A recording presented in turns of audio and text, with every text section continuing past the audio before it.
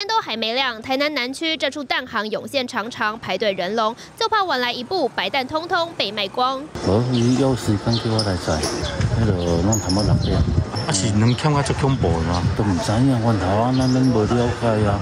阮这是做生做生意的啊。我出来运动三点我就来了。短短两个小时，蛋行鸡蛋通通被扫光，全台鸡蛋之乱持续延烧，甚至还传出养鸡场满天喊价，蛋商不得不加价抢蛋。说好的产地价，通通变成参考数据，这恐怕也连带影响市场价格。大部分都有在价码给鸡场，那承销商。有呃部分会加码给蛋鸡厂，价格都不一样，没有统一啊，没有统一的价格。呃，看个人的交易情况，呃，当然需要蛋的话，就会一直加，一直加。鸡蛋大盘商透露，原本一箱鸡蛋养鸡场公定价卖九百一十元，大盘业者得花一千一至一千两百元才买得到，中盘业者一千两百至一千三百元，一般餐饮业者则落在一千四至一千五百元。北部问题更严重，加上原本一台货车可以装一千箱蛋。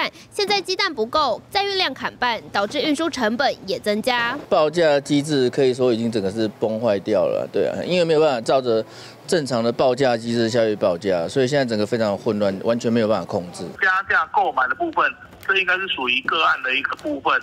那这部分我们也尊重市场的一个机制。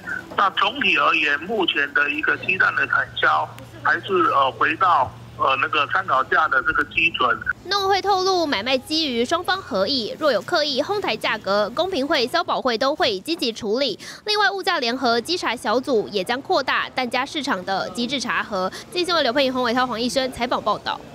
立刻下载金新闻 App，一手掌握新闻时事，尽善尽美，尽好新闻。